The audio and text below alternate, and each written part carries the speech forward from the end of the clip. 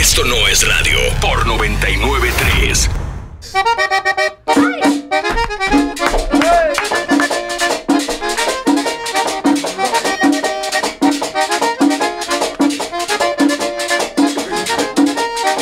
Lo que digan de mí, no le paro de eso.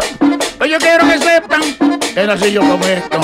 Eso yo lo admiro, es lo admiro con cinco. Y la música típica, a mí me llaman eso. ¡Soda!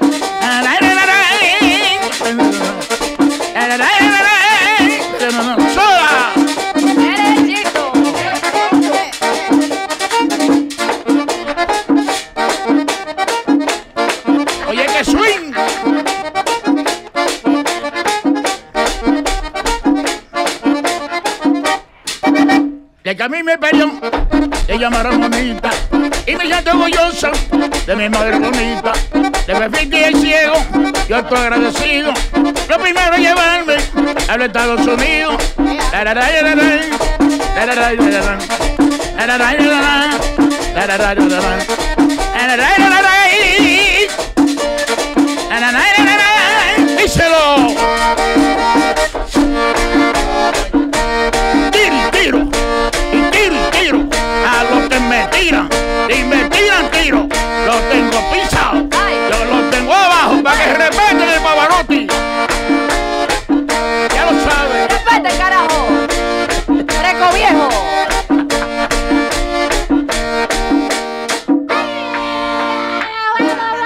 Narciso el Pavarotti. El Pavarotti. Mire, yo iba a iniciar la entrevista haciendo una pregunta que ya no se la voy a hacer porque yo escuchándolo cantar ya, ya yo sé por Ya, qué. Exacto. ¿Por qué lo del Pavarotti? Gracias. Pero me llamó mucho la atención en la canción que había un, un gesto de agradecimiento, principalmente a Fefita la Grande y al Ciego de Nagua. Entonces me gustaría saber cómo es la historia, cómo, cómo inicia Narciso el Pavarotti y qué tan importantes fueron Fefita y el Ciego de Nagua en su historia. Bueno, me siento orgulloso de ellos. Ya el ciego no está. Pero siempre lo recuerdo porque me enseñó a cantar merengue típico. ¿Usted cantaba en la, la, Yo vengo de? Fefita la Grande. En el 79 fui gurero de ella. En el 79. Y integré a su agru- agrupación. Viajé a Nueva York en el 82, 83. Y me hice cantante típico yo mismo con el ciego de agua. Y para mí, eso, en la música típica, esos son los dos soportes que yo siempre he llevado en la mente para dirigirme a mi público y cantar merengue típico, que no es fácil. Wow. Entonces, ¿cuánto, ¿Cuánto años tiene usted cantando merengue ahí, derecho así? Tengo 44 años, Wow, pues una vida. No, pero 73 de edad. usted es una gloria. Está como un trinquete. Gracias, papá Dios, Amén. y a mi mamá. ¿Cómo se siente usted? em, ¿Cómo va el merengue típico en República Dominicana? Que los jóvenes no han abandonado esa tradición, que todo lo contrario, sino que es un género pegado, que se pegado ahora, en eh. el gusto. Yo siempre he criticado los muchachos porque la tradición no pasa de moda, y la tradición la hizo Dios. Y mientras exista música típica, ese merengue siempre se va a mantener. Porque es el merengue que le gusta a los hombres que beben whisky, a las mujeres que usan perfume de papi y la juventud que se baña. El diablo. El diablo, me gustó esa. Me gustó esa. Los hombres que ven wiki, las mujeres que usan perfume de pap, Y la juventud que se baña. la juventud que se baña. Hay mucha juventud no está bañando. Nosotros clasificamos en toda la anterior. Dylan Baby no se baña. Oye, ahí ¿Qué? Dylan Baby no se baña. Ay, Dios. Mira, ay, Dios. Oh, Necesitamos más de eso. Sí. De gente que se bañe. Ah, yo pensé que Madilon Baby. No, no. No, no, por Eh, favor. Gente que se no quiera se bañar. multiplique, gracias. Yo quisiera escucharlo cantar otra canción porque siempre he dicho que, que no todo el mundo puede interpretar un merengue típico como usted lo está haciendo ahora.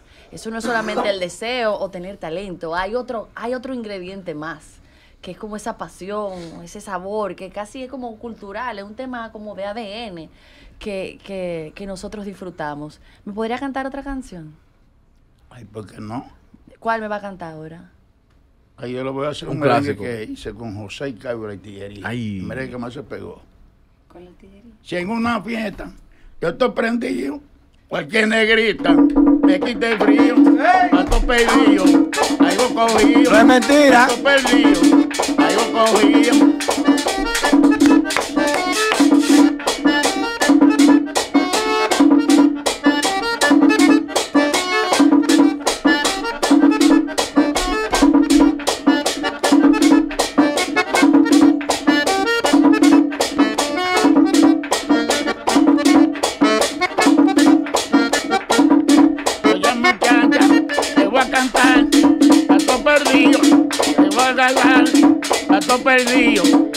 Algo cogido. Los muchachones. Eh, pero bien. No, no, tienes algo. Ese merengue sonó mucho eh, en los años Mira 90 y este, pico. suelta el celular, Casal del Tienes Día. un saoco fuerte. Tienes un Ah, ¿verdad que? No pasa por aquí. Mire, ahora yo quiero aprovechar. Si yo le digo que usted me le dedica una canción a un amigo que está de cumpleaños, ¿qué canción usted elige? ¿Y quién está de- Depende de tu amigo Bobe Wiki. Muriendo de amor. Ay. Esto va dedicada para nuestro querido Mon Lluveres, Ay, una estrella. que está de cumpleaños hoy.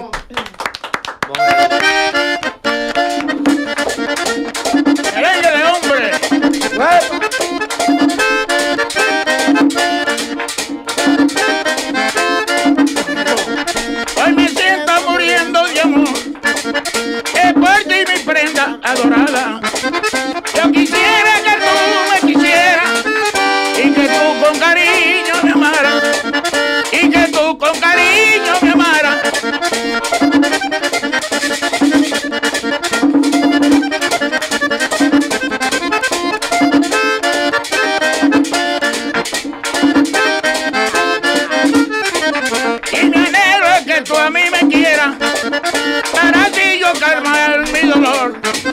Tan ingrata que has sido conmigo. Hoy me siento muriendo de amor. Hoy me siento muriendo de amor.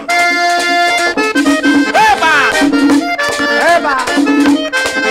Y eso mañana hay. Merengue típico cibaeño.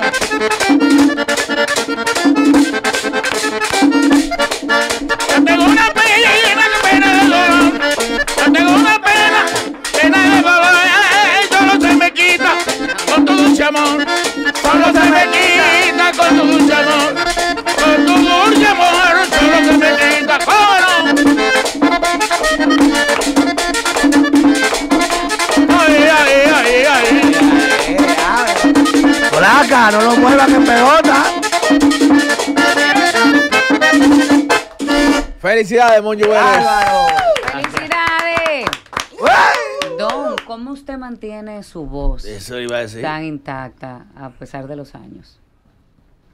Bueno, yo, mi voz es natural, heredada por mi papá, Miro Francisco, que fue saxofonista de Tatico Enrique, el más grande de la música. Claro, el, Oh. el GOAT, Tatico. Y esto hay que llevarlo en la sangre y vivirlo. ¿Y quién le puso el nombre al Pavarotti? A mí me bautizó, yo tuve una agrupación, le llamaban La Fuerza Típica, de Baibey de Mao. A mí me puso un señor llamado Canarda, el gobierno de la línea. Me puso ese nombre porque yo cantaba y no me, can- no me cansaba. Merengue y merengue y flojándolo para afuera. ¿Y cómo, y cómo usted, Rojándolo para afuera. cómo usted mantiene, por ejemplo, Tenemos ahora mismo, la él y yo. las agrupaciones típicas lo que hacen es que mantienen una dualidad, dígase. Tienen muchachos jóvenes en el frente que cantan el merengue moderno, dígase que muchas veces adaptan baladas y eso a, a la música típica y traen siempre para la gente que acostumbra, que le gusta el típico, Sí, el ¿verdad? típico un cantante derecho. En el caso suyo, ustedes can- todas las canciones suyas son de merengue tradicional, derecho. ¿Cómo usted lleva la competencia? Porque ahora mismo hay muchos grupos y todos los grupos Está- tocan, está tocan pegado moderno. el típico. Es un hombre que me ha mantenido, gracias a Dios, conectado con el público, porque el artista que no está conectado con el público no come. El público es soberano y hay que elogiarlo porque es el que está gastando en la fiesta y paga una entrada. Entonces el merengue típico es un- una tradición que hay que llevarlo dentro de- Corazón. del corazón. y saber dirigirse a, a, su público, al público de uno. Entonces yo siempre, porque yo no estudié, no me hace feo decirlo nunca. Soy músico de oído. Sí. Tengo mi, mi, afinación en mi voz, que han puesto muchos afinadores ahí, el hombre 440. Bien. así como, como su papá le enseñó a usted eh, el oficio de la música, ¿usted tiene hijos también que, que hacen música? Ay, no, no, no, tengo nadie que... Nadie, no tiene heredero, pavarutico. Yo fui el único que heredé a mi papá. Y ya. Todos los hijos. Pero mire, Ariel le preguntaba también con el tema de la competencia, porque han surgido nuevos grupos. Entonces, ¿cómo usted se ha mantenido con los años? Y a pesar de que puedan venir nuevas agrupaciones, que siempre mucha gente lo prefiere a usted. Sí, la clave de ese éxito. Sí, porque eh, el que gata, el que está en una fiesta, le gusta que lo mencionen, le canten. ¿Y usted menciona, usted menciona a todo el mundo? Saludos a fulano allá en Villarreal. Saludos para Casal, que está bebiendo robo como un desgraciado. Exacto, que está en la fiesta pagó una entrada Y el que pagó la fiesta. está consumiendo. Entonces, esa es la persona legal de la fiesta. No, no, pero a veces lo menciona también en grabaciones. Yo he visto que... Claro. Sí. Se da su coyoca a uno, pues El diablo. El diablo. En la grabación se Saludos a fulano allá en Nueva York. Eso es así. Sí, Eso es así. Ariel allá. sí, sí, sí. Mire, y a pues yo estoy tocando una fiesta de noche y me llaman de Nueva York. Eh, estamos aquí en la transmisión, bien yo saludo a esa gente y esa gente son seguidores. Cuando yo voy allá. Su cogió. No, no, ese, ese, hay un Menciona casar ahí. ¿Y a cuántas están esos mil pesos son míos, desgraciado? Ah, porque me mencione, usa. Mira. Mándalo para acá, mándalo para acá. Acaban de, me acaban de dar el dato de que el acordeonista suyo porque lo que tú decías ahorita, Casal, de que el acordeón es una cosa que se, se, va pasando de familia. Me toma tu acordeón. Entonces, en el caso, tú, eres hijo de Rafaelito Román. Ah, ah pero espérate. Músico de, de, de, esa gloria. Un maestro. Así es, soy Raúl Román. Sí. Esos muchachos nacen con un coyón en la barriga. Eso mismo, ¿eh? Sí. Yo Rafaelito Román. La mamá con maletares. Sí, sí, eso, casarte ahorita. Como que todos los que han venido aquí, mujeres y hombres, pero mujeres también, han dicho que lo agarraron temprano por su padre. Que le pasó el de temprano, le enseñó la música y el acordeón. en el caso tuyo, ¿cómo fue? un instrumento atípico. Porque mi papá tiene, tenía, daba la clase y la mayoría de los muchachos nuevos que tienen agrupaciones ahora, que andan ahí, pues eh, han pasado por ahí, por la mano de mi papá. Yo mismo le he dado clase a muchísimos de ellos. Oye. ¿Qué se necesita eh, para tocar acordeón? Los dedos rápidos. Casal. Calla. Gracias. No, pero es verdad, tiene que ser verdad. Aparte de. Unos dedos que sean bien. Hay que saber usar los dedos. el coro a Y saber abrir y cerrar. Ok, more. Abrir Aparte de la disciplina de la clase, ¿qué tiene que tener? ¿Qué, qué, qué, debe tener una persona? Que habilidades, habilidades. Exacto. Eh, sí, tiene que tener, eh, gustarte. Es un poco incómodo Sí. Eh, eh, la porque, porque, esto es tan Su ejercicio. no es igual que un piano que uno tiene todas las teclas ahí que tú le vas dando. Este no, esto no. Esto una nota suena de una forma para adentro y otra para afuera. Sí, siempre así. Siempre una forma para adentro y otra para afuera. Wow.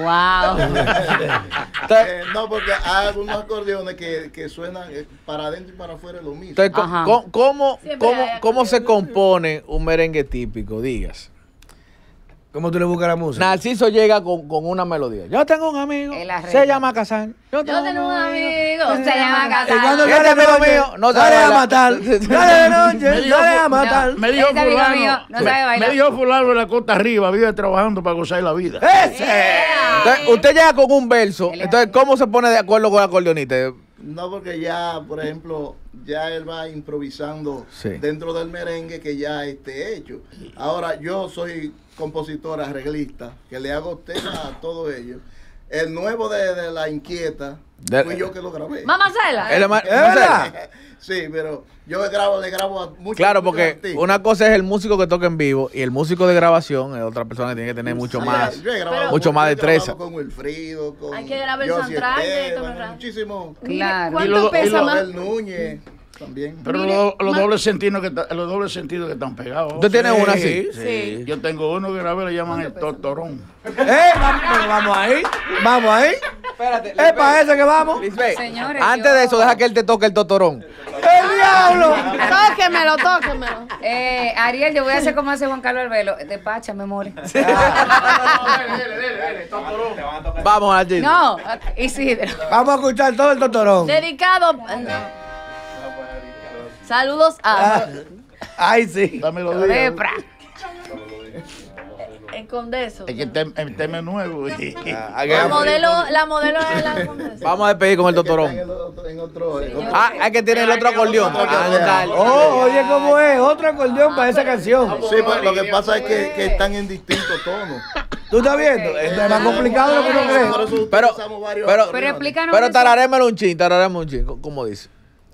En el barrio En el- que yo vivo. En el barrio que yo vivo, hay una mujer, Alicia, Ay, yo no. le di pepino y huevo, Ay, no. que se lo robé a mamá. Ay, Dios. Yo cogí para la casa, Ay, Dios. a la casa de la Alicia, Ay, La Alicia. y ella le toqué la puerta. Y ella la tenía clavada. Ay, Se Dios. llama el totorón. Ay, ay, Dios mío. Ya, no hay más nada que hablar. Oye, Ya si no- no, si no te dice Alicia, tú no.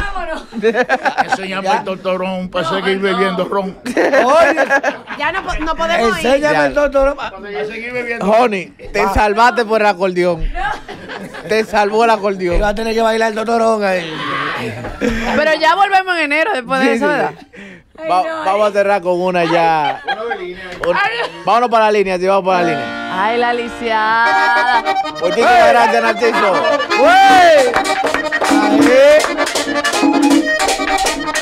¡Meléalo! El hombre Cabrera, le cantó a Nonito. El hombre Cabrera, le cantó a Nonito. Ay, es un buen amigo. Yo lo felicito. Es un buen amigo. Yo lo felicito. Sí.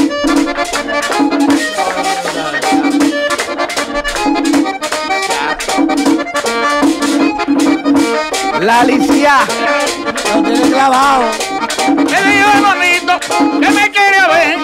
Me dijo a Nonito que me quería ver. Ay, que no le cantara a la mujer de él. Ay, que no le cantara a la mujer de él. ¡Vámonos!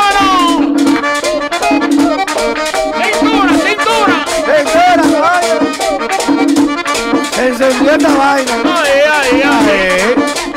¡Epa! Fíjate, mañana gallo. ¡Qué totorón! Cuando yo me muera, que diga la dolores. Cuando yo me muera, ay, diga ya dolores. Que vaya a mi tumba a ponerme flores.